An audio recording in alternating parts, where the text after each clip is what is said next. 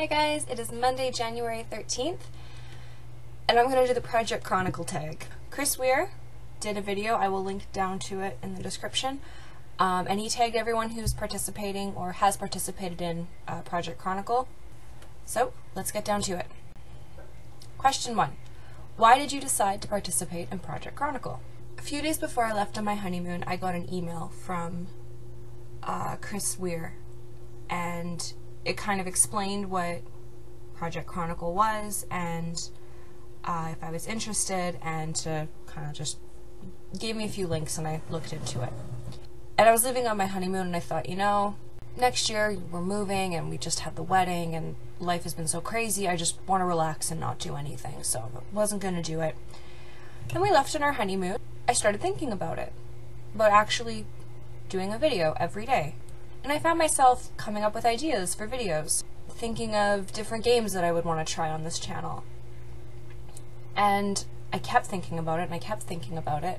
I talked to my husband about it. He told me that if that was what I wanted to do, that sounds like a great idea and he think it'd be fun and he'd fully support me and that was great. So I thought, well, you know, maybe not next year. Maybe, you know, 2014 I really should just relax. Maybe I'll do it in 2015. And then I got home and I watched the video that he linked me again. And I realized we're going through a lot of big changes over the next year. And going back and watching the videos around the time I was doing all the wedding planning from 2013, I realized how wonderful and how awesome it would be to have essentially a time capsule of everything that's going to happen in 2014. And I went, okay, I'm going to do it. I am going to do a video every day of 2014. Question two. What aspect of your vlog slash yourself would you like to see improved through daily vlogging? I'd like to see myself become a better homemaker. Um, it's something that I get a decent amount of crap for, but I definitely enjoy homemaking. I enjoy cooking. I enjoy some cleaning. Um, I enjoy mending, I enjoy sewing, I enjoy baking. Um, ironing is ironing and cleaning bathrooms are two of my favorite household chores. I guess I'd, I'd like to hopefully slowly see myself have a more organized household, more efficient household, I guess. Question three How and when did you decide to become a nerd fighter? Officially 2011, but I'll give you the story of kind of how I got introduced to the Vlogbrothers. We have these really good friends. They showed us Hank's uh, joke videos. They were hysterical and I thought they were so funny. Both me and my husband did. A few months later, I looked them up on my own and I went, oh, they have all these other videos. And I saw Hank Green's Harry Potter songs and I lost my head. And I saw John Green ranting about pennies and I thought that was the funniest thing. And then um, when I was building my first incarnation of Hogwarts in Minecraft, I'm currently on my third, but that's a whole other ball of wax. Um, I put on the playlist and I just had it going while I was building. And I just, I fell in love with it. I fell in love with the style and I fell in love with how nerdy these people were and how they weren't apologizing for it. And they had opinions that made sense and they had ideas that were really cool. Probably in about, I'm going to say early 2011. I really became a nerd fighter. What is one way you remember to be awesome?